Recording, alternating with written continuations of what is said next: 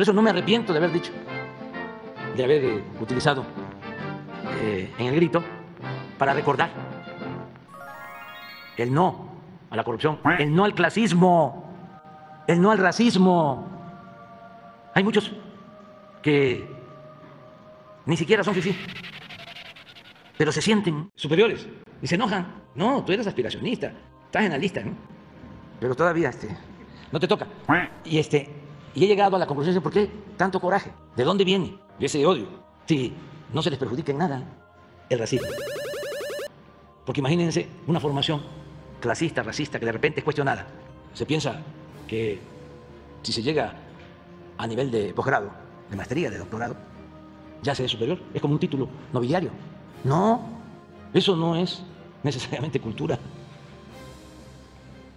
Eso puede ser educación, pero no cultura. Y el sentirse superiores, estoy hablando de intelectuales, racistas, clasistas. Ese es el coraje. ¿Cómo este, los nacos van a estar en el poder? Los chintos, como el pueblo, la chusma, así. Además hay expresiones de ese tipo y es mucha molestia.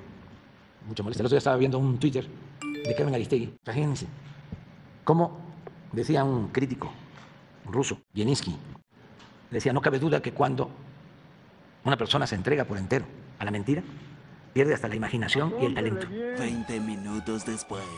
¿Por qué no pones el Twitter de en donde está Tatiana en el aeropuerto? Es interesante, porque si a entregarse a la mentira se le añade el enojo, no te calientes granizo.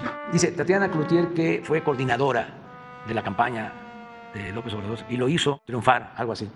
Estaba sola en el aeropuerto viendo su celular. ¿Saben?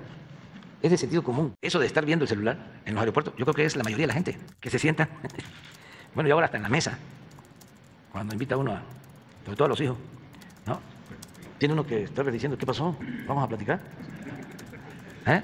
Deja esa chingamusa. Fue vista en una sala de espera usando su celular.